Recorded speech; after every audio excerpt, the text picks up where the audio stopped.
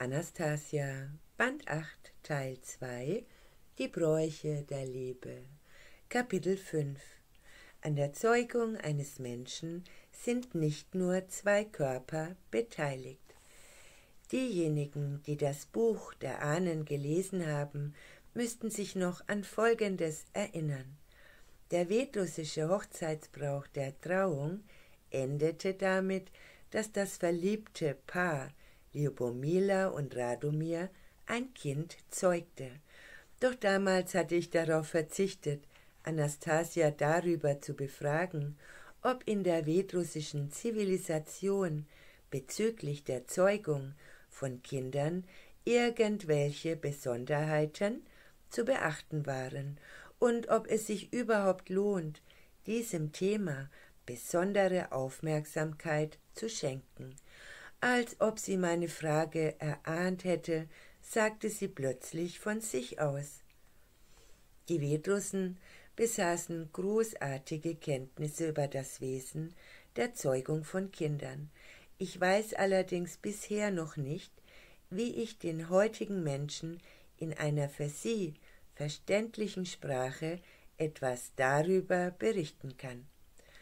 Viel später nach dem Gespräch mit Anastasias Großvater und der Suche nach den Bräuchen verschiedener Völker, die in der Lage sind, die Liebe in ihren Familien zu bewahren, erhielt ich ausführliche Informationen über das Thema der Zeugung bei den Vetrussen.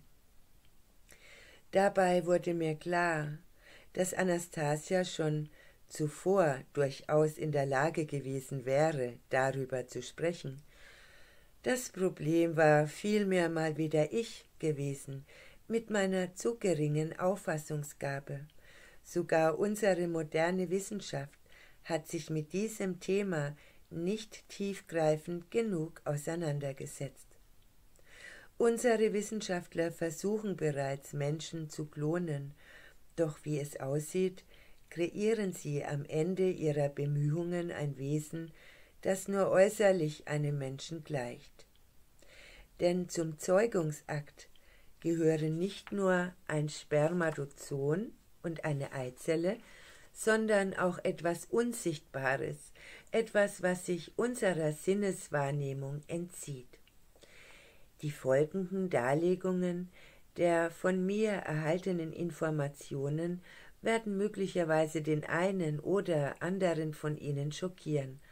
Auch ich habe ja ein halbes Jahr lang darüber nachdenken müssen, ob ich die mir zur Verfügung stehenden Informationen mit meinen Lesern teilen sollte oder nicht. Letztlich entschied ich mich, meine Erkenntnisse nicht für mich zu behalten. Es geht hier nämlich um Folgendes.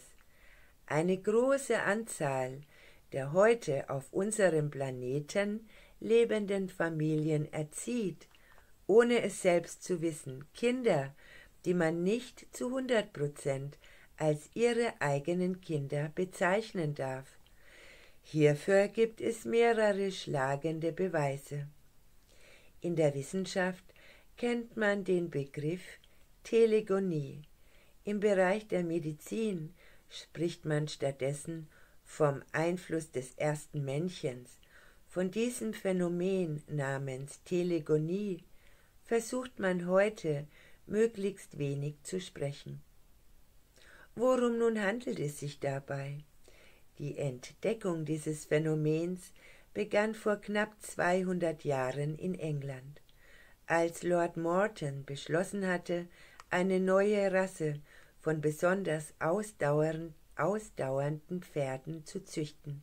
Um sein Ziel zu erreichen, kreuzte er eine reinrassige englische Stute mit einem Zebrahengst.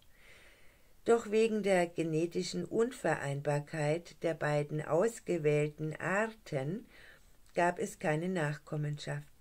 Nach einiger Zeit wurde die gleiche reinrassige englische Stute mit einem ebenfalls reinrassigen englischen Hengst gekreuzt.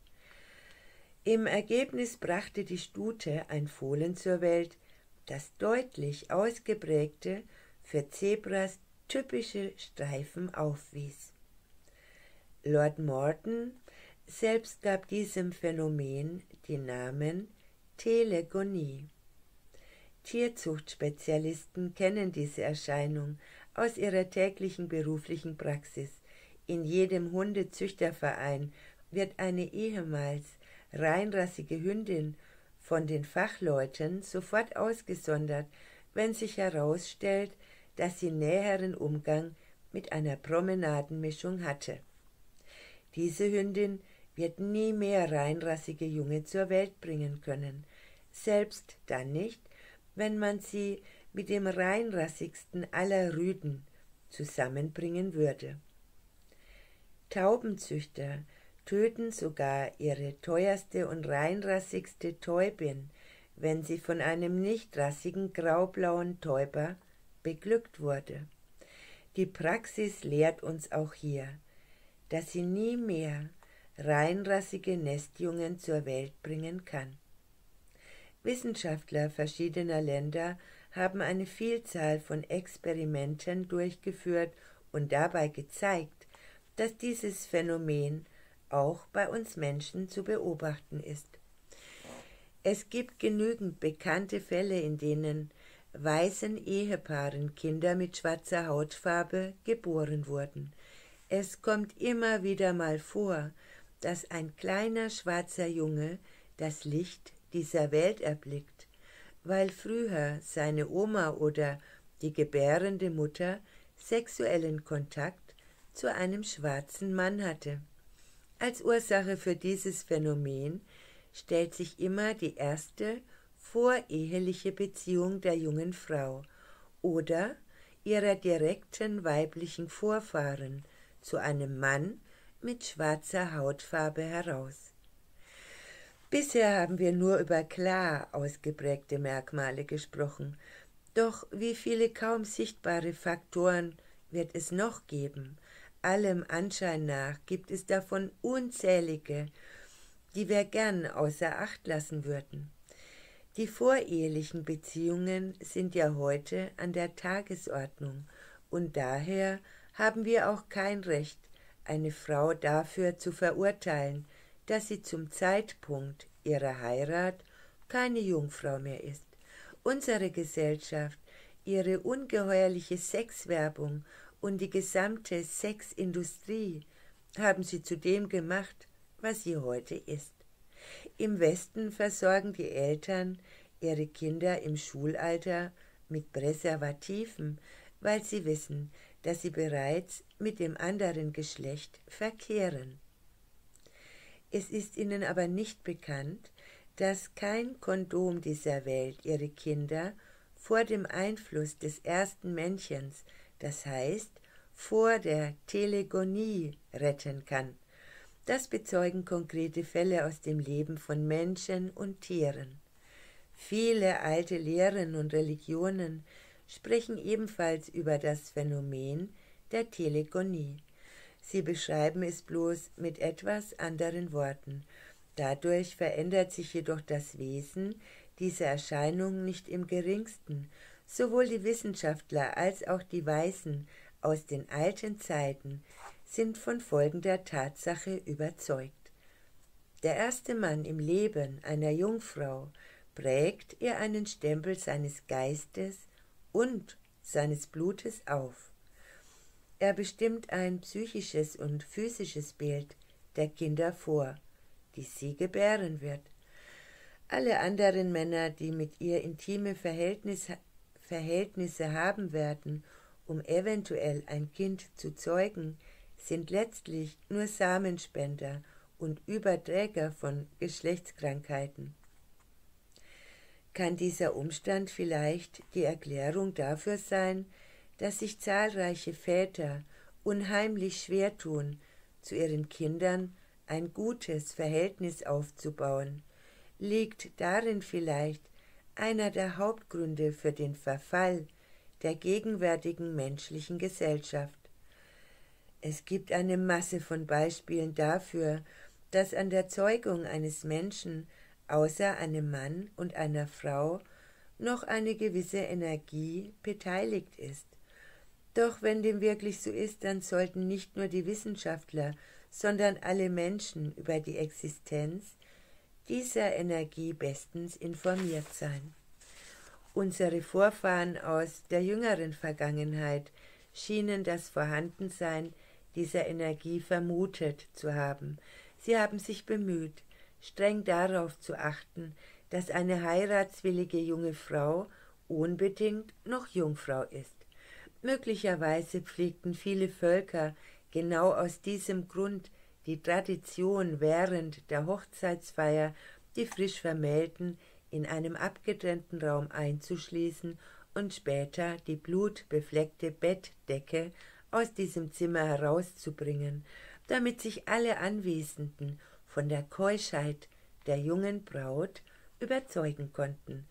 Steigen wir noch tiefer in die Vergangenheit ein, dann stellen wir fest, dass unsere Vorfahren aus jenen Zeiten die Grundbedingung der Jungfräulichkeit einer Braut als nicht ausreichend dafür betrachteten, dass ein vollwertiger Stammhalter in der Familie geboren wird. Wenn ihren Behauptungen nach eine Frau beim Sex mit einem Mann an einen anderen Mann denkt, dann wird sie später ein Kind gebären, das jenem anderen Mann ähnlich sieht. All dies lässt vermuten, dass die Menschen im Altertum nicht nur Vorahnungen, sondern vielleicht sogar gesicherte Kenntnisse über die Rolle der Gedanken während der Zeugung besaßen. Genauer gesagt reden wir hier über die Gedankenenergie. Der gleiche Zusammenhang ist auch beim Phänomen der Telegonie zu erkennen. Möglicherweise bewahrt eine Frau die Erinnerung an die Merkmale ihres ersten Mannes in ihrem Unterbewusstsein auf. Dadurch bringt sie später ein Kind auf die Welt, das diesem Mann ähnlich sieht. Zuerst dachte ich, man sollte über dieses Thema lieber gar nicht erst schreiben, sonst könnten eine Menge unangenehmer Fragen bzw. Diskussionen zwischen den Kindern und ihren Eltern oder unter den Ehepartnern ausgelöst werden. Besser, sie alle bleiben unwissend, aber zufrieden. Doch was tun, wenn gerade das Glück bei diesen Menschen heute fehlt und wenn es unter anderem deswegen fehlt, weil sie über die Kultur der Zeugung nicht ausreichend informiert worden sind. Es wird bei uns schon lange darüber gestritten, ob die sexuelle Erziehung der Kinder als Fach an unseren Schulen eingeführt werden sollte oder nicht. Wenn in diesem Unterricht nur über die korrekte Nutzung von Kondomen gesprochen werden soll, dann kann man auf die Einführung dieser sexuellen Erziehung durchaus verzichten. Wenn allerdings die Kinder bereits in der Schule etwas über die wahre Bestimmung der Frau und über die richtige Herangehensweise an die Frage der Zeugung eines neuen Menschen erfahren sollen, dann ist die schnelle Einführung solcher Kurse in unseren Schulen lebensnotwendig. Allerdings müssen dann die Pädagogen den Kern dieser Sachfrage gut erfasst haben. Dafür muss ihnen wiederum die entsprechende Literatur zur Verfügung stehen. In der heutigen Gesellschaft ist es unbedingt notwendig, über dieses Thema offen zu reden. Doch leider widmen sich die uns zur Verfügung stehenden Massenmedien ausschließlich der Sexwerbung. In den sogenannten demokratischen Ländern wird viel über die Freiheit des einzelnen Menschen geredet. Kann man allerdings einen Menschen für, für wirklich frei halten, wenn man ihm essentielle Informationen über seine natürliche Lebensweise vorenthält? Stattdessen nutzt man die Mittel der angeblich freien Werbeindustrie, um ihn von Perversionen zu überzeugen, die ihm als Spitze des Wohlergehens verkauft werden.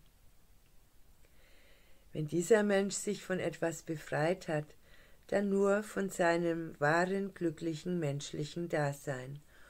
und trotzdem hätte ich es vermieden, über die Telegonie zu schreiben, wenn mich Anastasia nicht darüber informiert hätte, wie die Situation korrigiert werden kann. Auch wenn eine heiratende Frau in der Vergangenheit bereits mit einem anderen Mann intime Beziehungen hatte, kann die Telegonie vermieden werden.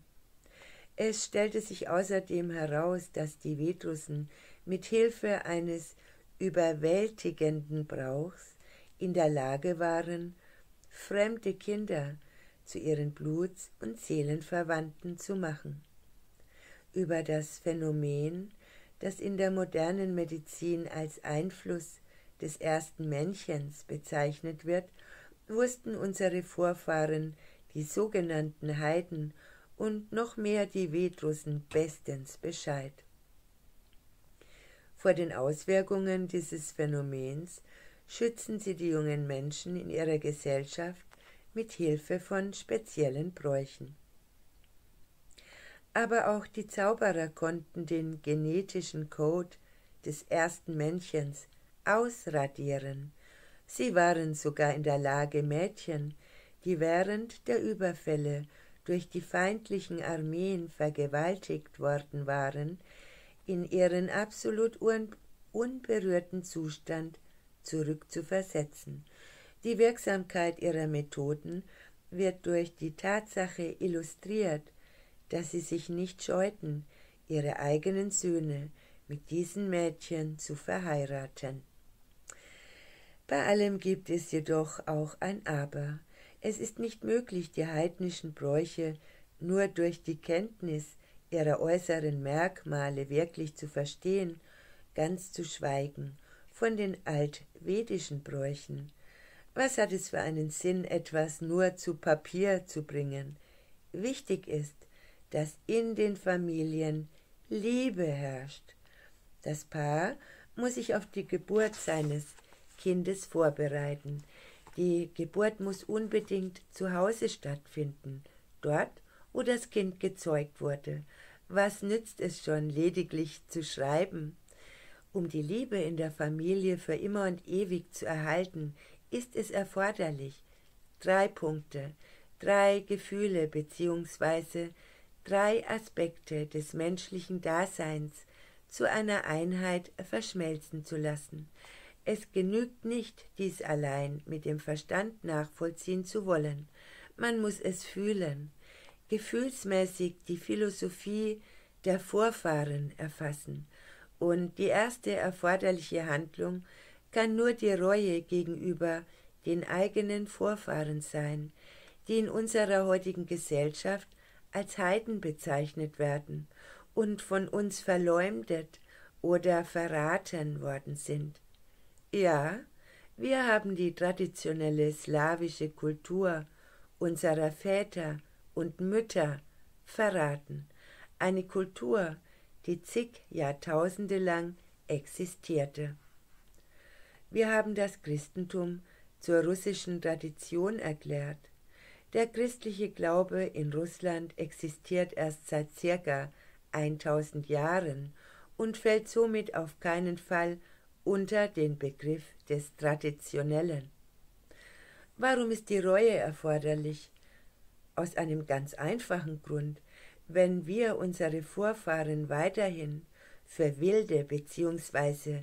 für stumpfsinnige Barbaren halten, wie es uns täglich mit viel Mühe suggeriert wird, und gleichzeitig versuchen, ihre Bräuche zu übernehmen, dann werden diese Bräuche ihre wahre Wirkung nicht entfalten können, denn all ihre Bräuche basieren auf der Kenntnis der kosmischen Gesetze, der Zweckbestimmung der einzelnen Planeten und der Macht der Psyche, das heißt der Gedankenenergie. Wir mögen uns bemühen, mit Hilfe ihrer Bräuche die kolossale Energie unserer Gedanken zu aktivieren, doch das wird uns nicht gelingen. Unseren Gedanken steht nämlich ein anderer Gedanke im Wege, der, dass unsere Vorfahren stumpfsinnig waren. Ein Paradoxon. Du bist ein Dummkopf, doch deine Handlungen sind wunderbar. Das eine widerspricht glatt dem anderen und schließt es damit aus. Vielleicht ist es kein Zufall, dass die Kultur unserer Vorfahren vor uns verborgen gehalten wird. Unwissende und verwirrte, von ihren Wurzeln abgetrennte Menschen können leichter in die gewünschte Richtung gelenkt werden. Oder vielleicht handelt es sich hier um die Strafe Gottes für unsere Zivilisation. Die Volksweisheit sagt, wie man in den Wald hineinruft, so schallt es auch heraus. Wir haben den Bezug zu unseren Vorfahren verloren und dadurch das Verhältnis zwischen unseren Kindern und uns sehr brüchig gemacht. Über die höhere Kultur unserer Vorfahren, der Heiden, beim Thema Zeugung von Kindern kann man sich anhand der bis heute erhaltenen Traditionen im modernen China und besonders in Japan selbst ein Urteil bilden. In diesen Ländern müssen Mann und Frau vor dem sexuellen Akt zur Zeugung eines Kindes einen speziellen Reinigungsbrauch absolvieren. Religionen im alten China, in Japan und Indien, aber auch im alten Griechenland schenken der Frage der Zeugung eines neuen Menschen immense Aufmerksamkeit. Was soll nun ein Mensch tun, der an guter Nachkommenschaft interessiert ist? Muss er zuerst eine Menge Zeit für das Studium von Abhandlungen über dieses Thema aufwenden? Und sollte er danach vielleicht noch etwas Zeit reservieren, um noch mehr Abhandlungen über die Auswahl der vorbestimmten Lebenspartnerin und über die richtigen Grundsätze der Kindeserziehung studieren zu können? Ich will es Ihnen gleich verraten, es ist nicht nötig, einen Teil des Lebens für das Studium solcher Schriften zu verwenden. Ich habe mehrere Jahre gebraucht, um mir lediglich einen Überblick über diese Thematik zu verschaffen und plötzlich zu erkennen, all die großen Werke rund um besagtes Thema haben die Vedrussen auf ein System einfacher, lebensfroher und rationeller Bräuche für alle Lebenslagen komprimiert. Man könnte sogar meinen, Gott selbst habe ihnen bei der Gestaltung dieser Bräuche und beim Begreifen des Wesens unseres menschlichen Seins geholfen. Bevor wir versuchen, die Erfahrung unserer Vorfahren für uns zu nutzen, sollten wir uns darüber verständigen, welche Vorfahren wir eigentlich meinen. Es geht mir speziell um die Frage, vor wie vielen Jahren welche Region des heutigen Russlands von unseren Vorfahren besiedelt war. Bekanntlich berichtet die historische Literatur, unter anderem auch die russische, über das Leben der Menschen im alten Ägypten und im alten Rom vor 5000 Jahren. In dieser Region der Erde wurden schon früher und werden auch heute noch archäologische Ausgrabungen durchgeführt. Große Touristenströme fließen täglich dorthin. Über Russland finden wir sogar in der historischen Literatur unserer Heimat nur Berichte, die maximal einen Zeitraum von 1000 Jahren umfassen. Auf dem Territorium unseres heutigen Staates konnte man früher anscheinend nur Armut oder gar nichts beobachten. War das wirklich so? Oder verbirgt jemand ganz bewusst unsere Geschichte vor uns? Ja, genau so ist es. Ich habe schon früher darüber geschrieben. Doch nun stelle ich Ihnen eine ein, stelle ich Ihnen einige archäologische Erkenntnisse vor. Es geht in meinen Ausführungen um Archaim, um einen Ort, der einen unmittelbaren Bezug zum Thema Telegonie aufweist. Nach Aussagen von Anastasias Großvater wurde vor dreieinhalb Jahrtausenden ausgerechnet dort eine überwältigende Entdeckung gemacht. Ich danke für die Aufmerksamkeit und wünsche ein angenehmes Weiterleben. Bis bald. Tschüss.